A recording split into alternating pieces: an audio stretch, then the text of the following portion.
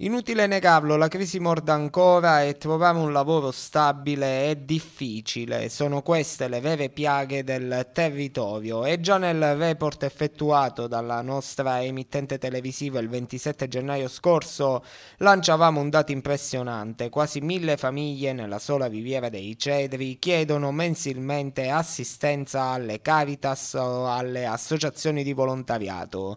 E dato ancora più preoccupante tra i soli comuni di Praia Mare e Tortora sono ben tre le associazioni impegnate nella distribuzione dei pacchi alimentari.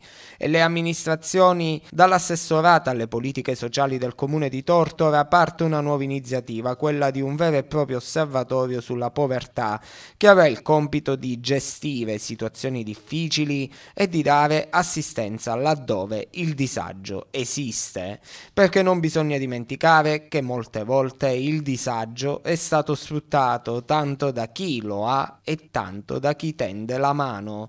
Di qui l'iniziativa di Anna Fondacaro, prima la mappatura dei bisogni, poi l'osservatorio e quindi la programmazione degli aiuti. Stiamo finalmente lavorando alla mappatura dei bisogni, questa analisi eh, ci permetterà poi di rilevare appunto quelli che sono i bisogni reali della popolazione così da iniziare ad offrire dei servizi che siano eh, adeguati. Successivamente eh, vedremo di realizzare un vero e proprio osservatorio sulla povertà. Sono decisamente aumentate eh, le domande di assistenza da parte soprattutto di anziani. Eh, resta sempre problematica la questione eh, dell'occupazione giovanile, in questo senso stiamo vedendo di reperire quelli che sono i fondi regionali.